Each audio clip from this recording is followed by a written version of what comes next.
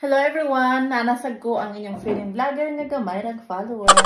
So for today's video is pakauno na ako ang akong anak nga Greek o sardinas tinapa. First time niya mukhaon ani.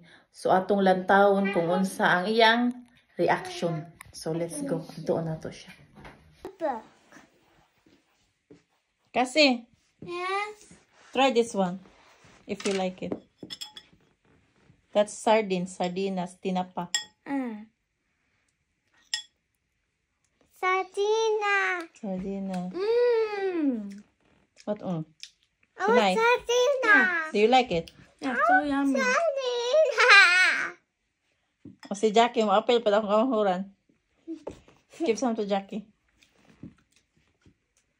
Si Nice. Lami. Say lami. Lami. Ganahan sila sardinas. O, first time nila mukha og sardinas. Gilanlan ra o.